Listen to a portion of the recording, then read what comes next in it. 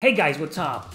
I finally gathered 10 hidden JRPG gems for the Nintendo Switch. Now this is gonna be great, so stay put and let's begin!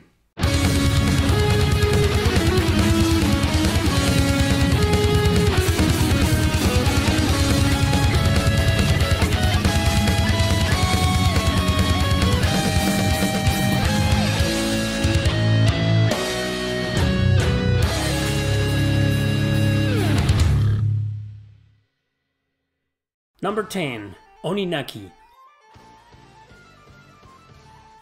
Since this is still fairly a new game released in August 2019, I understand it's not exactly hidden, however other RPGs quickly overshadow it and now it's already on its way to become one. In any case, it stays on number 10 for being the least hidden in the list.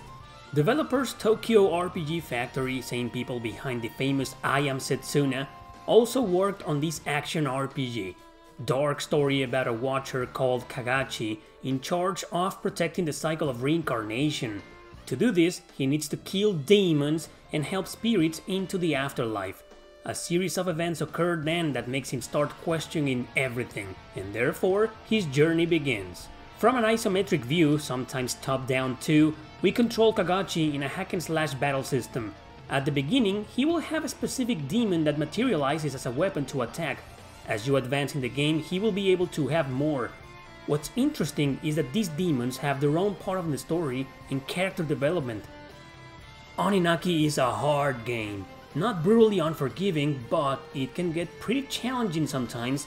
Best way to treat it is a little bit like a Souls-like RPG where you'll need to seek the better angle or strategy to fight your enemies especially with the bosses.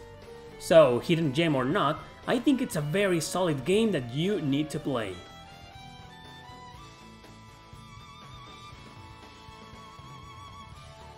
Number 9. Nelke and the Legendary Alchemists. This is a crossover from the Atelier series with a new main cast and story. However, it has a lot of heroines and other characters from across the franchise. Now, it plays a little different from any other Atelier game, which made it gain a lot of criticism. Instead of moving around with your girl and taking quests, everything here is managed by menus, meaning you'll only select the actions of your characters during battle and pretty much anything else. There's a lot of micromanagement involved because the game is about building a town, evolving into a city. Characters from other Atelier games will be in charge of shops, harvest fields, and alchemy houses. Quests, also pending on a time limit, will mostly go around these transactions. Nelke is in charge of everything, so you'll be taking on her role to manage the entire game. Exploration in areas will be done with a party of 5, with two guest Atelier girls in the back. And battles will be played in a very good turn-based system. During these explorations, gathering items will be performed by the characters, so overall, yeah, it is different from all the other titles in the franchise, but it's a crossover, so they had to come up with an alternative, right? In my opinion, they did a decent job.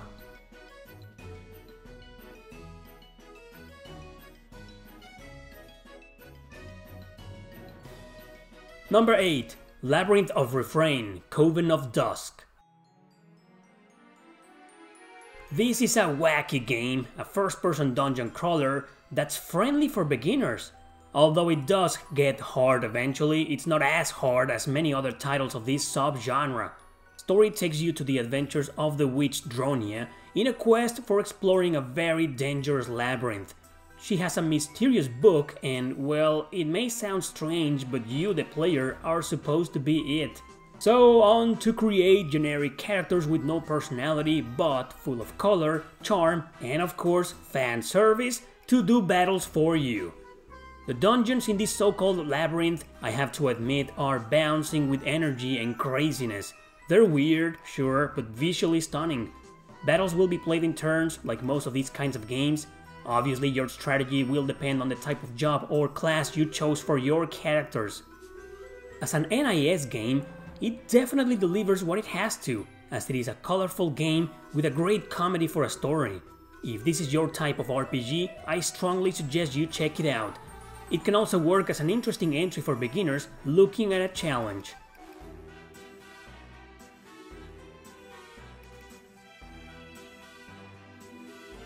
Number 7. Fairy Fencer F Advent Dark Force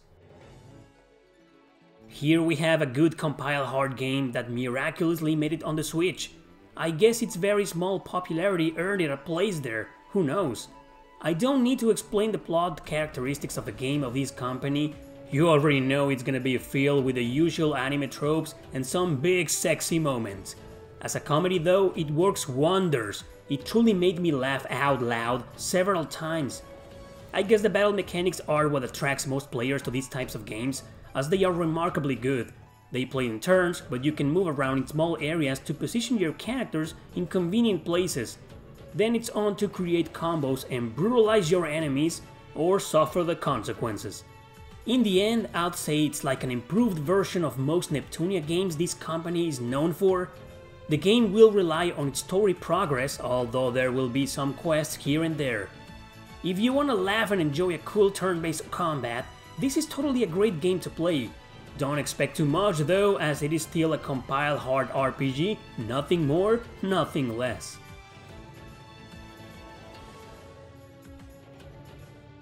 Number 6. Mercenary Saga Chronicles Three indie RPGs that started off as mobile games, strongly influenced by the historically important Tactics Ogre. Soon the second and the third one were ported to the 3DS on a digital format. Apparently they made enough noise for Nintendo to allow a complete port of the trilogy on the Switch, now on a physical version too. Now, Tactics Ogre is a very very hard strategy RPG. These three are like a watered down version of it, but only in terms of difficulty. The balance is there, the engagement is still there, and so is the challenge. I like the stories on all three of them considering they involve the usual warfare drama and diplomatic treachery. All in all, inside the lives of a group of mercenaries on each game. So you move in squares, in isometric maps, luring enemies, using skills and fighting your way through, just like in Tactics Ogre. But these mechanics play out so good that I understand why they are available on different platforms.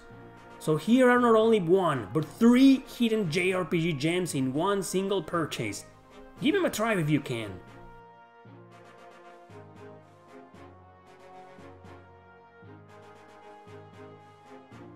Number 5. God Wars, the complete legend.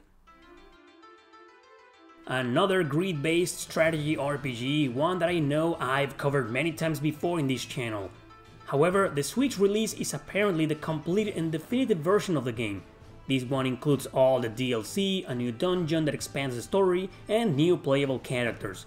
Story follows the arduous journey of a princess whose sister was sacrificed and whose mother is now missing. She's trying to find her through many different ordeals in the feudal Japan area, but with spiritism and mythology involved. You have a cast of some anime tropes and very suggestive characters joining her for many different reasons. Now, God War starts off like a perfect tactical RPG for beginners, but in reality, it's not. Even if you play on easy mode, you will start having problems after a few missions.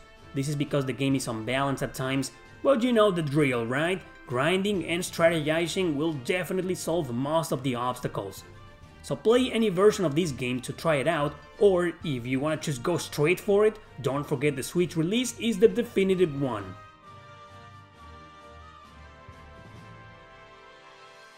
Number 4. Code of Princess EX The remastered version of the original release on the 3DS follows the journey of Solange, an exiled princess out to clean her royal family's name during a war. However serious that sounds, trust me, it's mostly a comedy with funny bits and tits. Yeah, I just said that. Anyway, Code of Princess is an action RPG that plays like a side-scroller beat 'em up but very technical. It's a tough game to master because of this, as you need to learn how to make proper combos and abuse skills, depending on the enemies you fight. You also need to move in layers to be in the same line as them so your attacks can land efficiently. This is a game with tons of playable characters, especially the Switch version which added even more.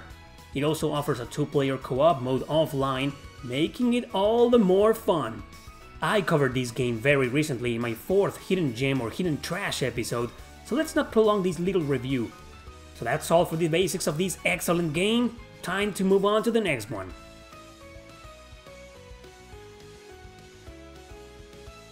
Number 3. Lost Sphear Lost Sphear, not Sphere, it's a turn-based RPG also by Tokyo RPG Factory. It takes place in a world where entire towns and people are being swallowed by the mist. Your characters will have to save them by going inside their memories to restore everything and everyone. Beautiful story, beautiful visuals, and beautiful music will be overly present here. It plays similar to I Am Setsuna, but here you can manually move your characters around. This is something you'll do to get a better precision and strategize your attacks, and therefore, the outcome of the battle. It can get really tough sometimes if you don't know what you're doing, but overall, it's a pretty balanced game. Unfortunately, this amazing RPG sold nowhere near as good as I Am Setsuna did, perhaps due to the lack of Square Enix marketing. That's the reason why, even though receiving a positive welcome from critics, went under sea very quickly. Hence why it became a hidden gem in no time and one of the absolute best in this list.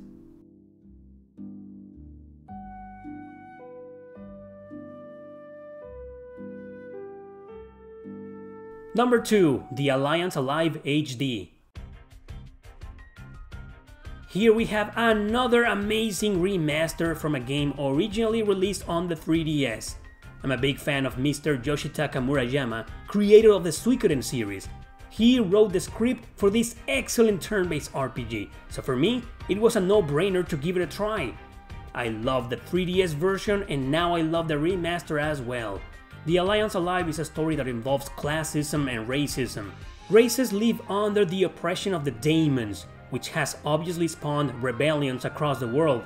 United in an attempt to stop this, different characters, including some Daemons actually, join forces. The game has influence from the Saga series, which means your characters don't have levels, instead they gain different status on a random basis after battle. This will usually make you think the grinding was useless but you also earn money and talent points, so it's quite the opposite. Even so, the game's very balanced most of the time, with only a couple of boss battles that are honestly unfair. In conclusion, this is a fantastic remaster for a brilliant game that pretty much defines the term hidden gem, in my opinion.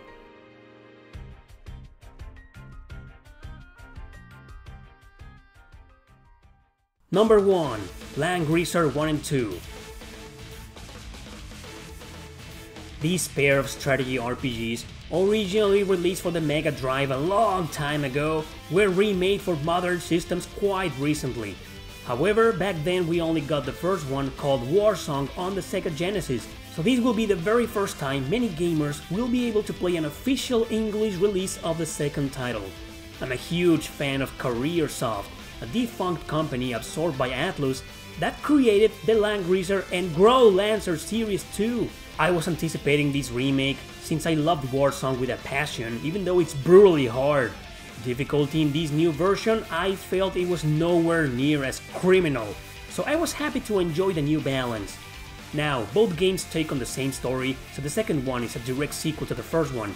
They revolve around a devastating war with a sinister invasion we see from the very first chapter of Langrisser 1. I like that you can switch between the original artwork by famous artist Satoru Urushihara or the remake versions of it. Langrisser 1 and 2 are tactical RPGs on long grid-based maps. Each commander can have small platoons of soldiers or mercenaries, some of them being around them, some on their own which the player controls. Battles impose a triangle of strengths and weaknesses similar to the Fire Emblem series. Most missions have a different objective, but they will be completed if you kill the main enemy commander. Doesn't sound too complicated, but don't underestimate this game. You need to learn certain things, such as having your small platoons around your commanders to enhance morale and damage. I love these two amazing RPGs with a passion, man. The remake of the gameplay was just spot on, even with its amazing rocking soundtrack. I'm so glad they were remade recently. Hopefully, these will help other obscure and underrated titles return to modern systems.